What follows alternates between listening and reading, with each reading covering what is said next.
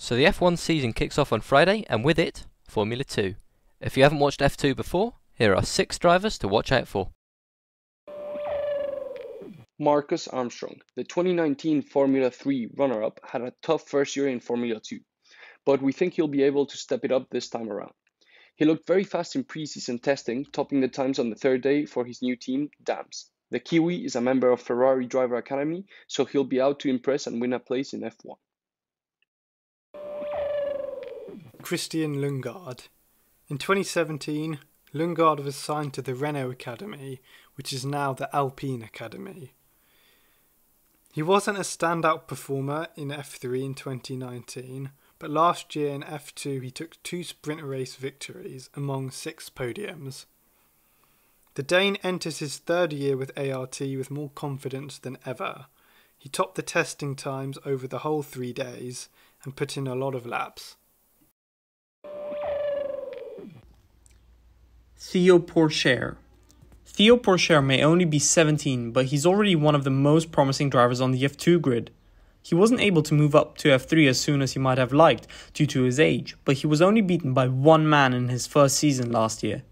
That marked the first time he'd entered a full season of Formula racing and wasn't able to clinch the championship.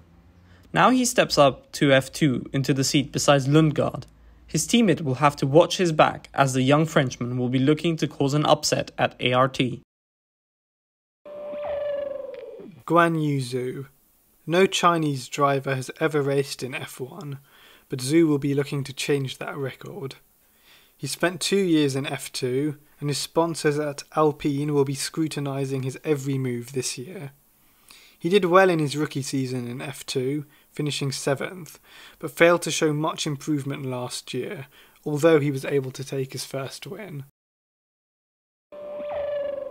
Oscar Piastri. Piastri, much like Pourchaire, stunned in Formula 3 in 2020. He clinched the title by only three points. He'll be driving for Prema, who won every possible F2 and F3 title last year, so he has a good team behind him.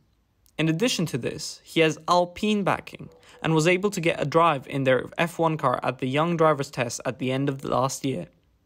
His qualifying has never been great, but he wasn't too far off his teammate in testing.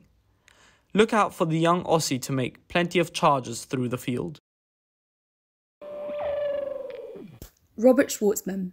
After winning the F3 title in 2019, the Russian managed to take four wins in his rookie season last year. This was enough to give him fourth in the championship, the highest of all of this year's starters.